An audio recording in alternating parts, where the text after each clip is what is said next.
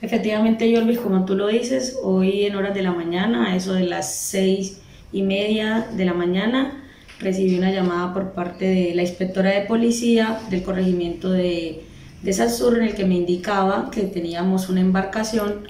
de tipo carga llamada Joshua con alrededor de 94 migrantes, entre ellos varios menores de edad, eh, de brazos, eh, mujeres en embarazo, eh, con diferentes migrantes de, al parecer, nacionalidad haitiana. manejaban muy poco el español, entonces era como muy poco lo que se podía entender o establecer con ellos la comunicación. Dentro de lo que ellos nos informaron o lograron o se logró establecer por parte de la inspectora y las autoridades que la acompañaban, era que estas personas venían siendo transportadas desde el municipio de Turbo, que tenían alrededor de dos días de venir navegando en, esta embarcación y que esta empezó a presentar fallas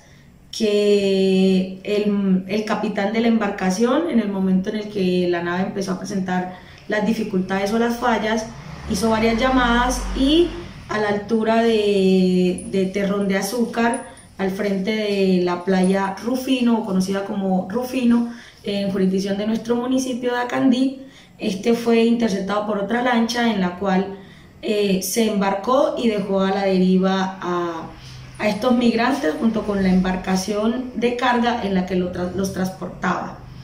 Eh, básicamente estas personas fueron encontradas por, por una lancha de carga del municipio que se llama La Manuela. Esta venía de regreso de dejar sus productos en, en el corregimiento de Sapsurro y los, los halló en el camino, los remolcó hasta la estación de guardacostas que tenemos en la bahía de Salzurro. Es aquí donde pues las autoridades ya iniciamos todo el procedimiento para eh, ayudar y socorrer pues a estas personas que quedaron a la deriva por culpa pues como ya te decía de los transportadores ilegales de, de migrantes. Los mismos fueron atendidos por parte de la Armada, la Administración Municipal eh, y la Policía, quienes en conjunto se coordinó pues el traslado seguro de ellos y, custodiados por parte de la Armada hasta las oficinas de Migración Colombia en el municipio de Turbo.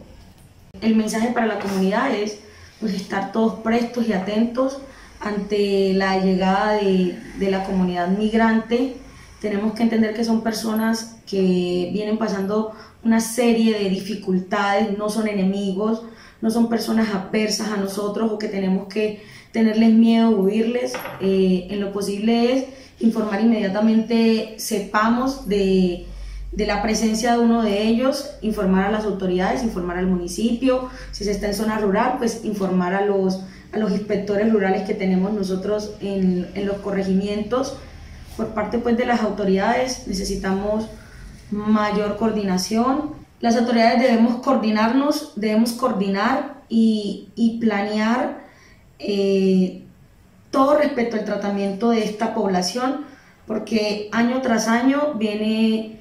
agobiando al municipio de Acandí, a nuestros corregimientos, y a la fecha no tenemos una ruta clara de cómo las administraciones municipales darle tratamiento a este, a este flagelo que por demás siempre nos deja eh, una cuota dolorosa que es el fallecimiento o el sufrimiento de personas que vienen de su país ante guerras y situaciones bastante difíciles y adversas para ellos. Eh, la falta de, de, coordinación entre las autoridades está generando que estas personas lleguen a nuestro país y lleguen a nuestro municipio y nuestro territorio y terminen siendo unas víctimas fatales de toda la red que, que está trazada en torno a ellos y nosotros también como autoridades por nuestra, podríamos decirlo, descoordinación, eh, estamos contribuyendo a que, a que este flagelo se siga incrementando y estamos dejando las líneas o las rutas para, para que la delincuencia y la trata de, de, la población migrante siga siendo un negocio muy lucrativo en nuestro país y en nuestra región. Entonces el llamado es a que nos coordinemos, a que efectivamente creemos una ruta efectiva, clara, para, para darle tratamiento a una situación que es muy difícil porque estamos tratando con humanos y, a todos nos toca ver las condiciones tan deplorables en las que siempre tenemos que hallar a, a estas personas.